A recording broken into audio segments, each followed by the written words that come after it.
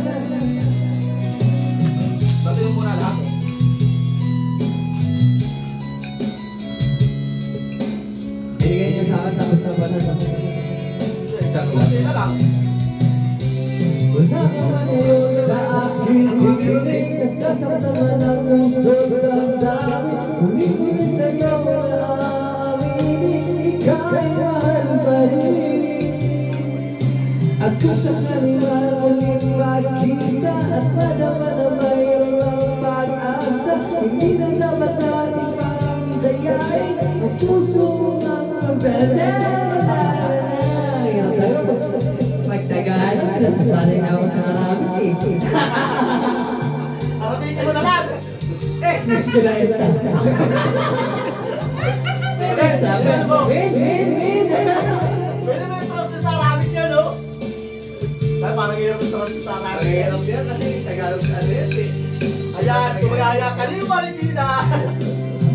Kaliwa, kaliwa, kaliwa. Kaliwa, kaliwa, kaliwa.